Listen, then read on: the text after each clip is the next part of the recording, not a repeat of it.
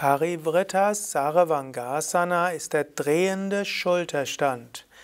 Im Schulterstand drehe das Becken nach rechts so weit wie du kannst und atme gleichmäßig ein und aus und dann drehe das Becken zur anderen Seite und atme gleichmäßig ein und aus. Manchmal ist es gut, bevor du die Stellung ruhig hältst, Parivritta Sarvangasana zu üben.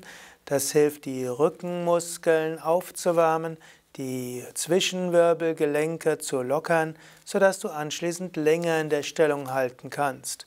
Manchmal ist es auch schön, nach dem Schulterstand vor dem Flug in verschiedene Schulterstandvariationen zu kommen, etwas dynamischere Elemente einzubauen und dazu kann auch Parivritta Sarvangasana gehören.